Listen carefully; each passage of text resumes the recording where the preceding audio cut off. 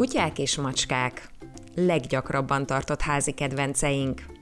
Arról, hogy miért hasonló vagy éppen különböző a viselkedésük, rengeteg elmélet létezik. Az ELTE etológia tanszékének kutatói arra voltak kíváncsiak, hogy vajon mennyire ügyesen követik az emberi gesztusokat, ezen belül is a mutatást a kutyák és a macskák. A jelenlegi kutatás, amiről most publikáltunk egy eh, cikket, ez alapvetően arról szól, hogy vajon a gesztikulációs kommunikációnkat, konkrétan egy távoli mutatást, azt eh, mennyire tudják jól értelmezni a kutyák, illetve a macskák. A helyzet azonban nem ilyen egyszerű, ennél sokkal bonyolultabb. A kísérletre érkezett macskáknak ugyanis csak a felét lehetett bevonni a tesztbe. A többiek túlságosan aggódtak, vagy nem voltak elég motiváltak, pedig a kedvenc ételüket kapták jutalomként. A kísérlet maga, azért mondom, hogy bonyolultabb, mint gondolnánk, mert úgy kezdődik, hogy behozzuk a kutyát a laborba, és lemérjük ebbe a mutatós kísérletbe. Gondolná az ember, hogy behozzuk a macskát a laborba, és lemérjük ebben a mutatós kísérletben, de rájön, hogy ez így nem fog menni. Tehát ha abból indulunk ki, hogy mondjuk a macska jellemzően jobban aggódik egy idegen helyen, mint a kutya, akkor bármit is produkál egy tesztben, az nem biztos, hogy összehasonlítható azzal, amit egy vidám családi kutya csinál, aki így körbejárja egyszer a szobát, hogy oké, okay, értem, és utána meg figyel arra, amit mit csinálunk. A feladat látszólag nagyon egyszerű volt. Két edényt letettek a földre, amelyek közül az egyikbe jutalomfalatot rejtettek. A macskák esetében először a kísérletvezető meggyőződött róla, hogy az állat használható. Azaz jámbor, nem fél tőle, elfogadja az ételt, ismeri a piros tálat, tudja, hogy étel van benne. Aztán a kísérletvezető arra az edényre mutatott, amelyikben a jutalom volt, majd megnézték, vajon melyiket választják a cicusok.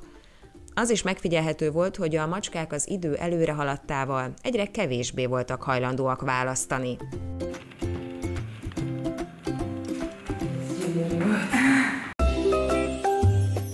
A kutyák lényegesen ügyesebbnek bizonyultak a kísérletben. A számukra idegen laborral hamar megbarátkoztak, ez a körülmény nem hátráltatta őket a kísérlet elvégzésében. Nem okozott gondot nekik az idegen kísérletvezető sem, kivétel nélkül hajlandóak voltak részt venni a kísérletben, és szinte mindig helyesen reagáltak a kísérletvezető gesztusára.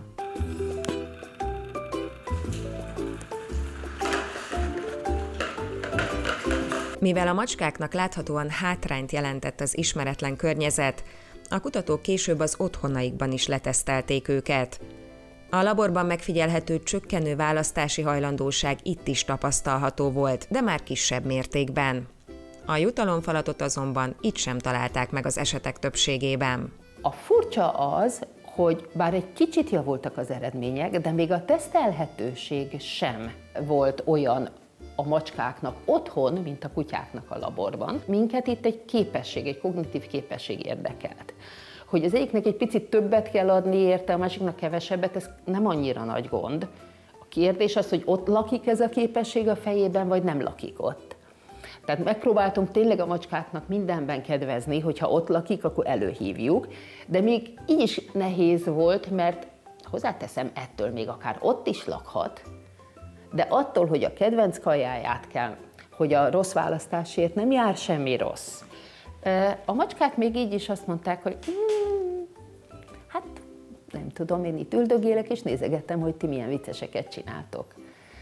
És hát persze volt olyan, aki hasonlóan egy kutyához végigcsinálta a tesztet. Tehát nem azt mondom, hogy nem volt köztük.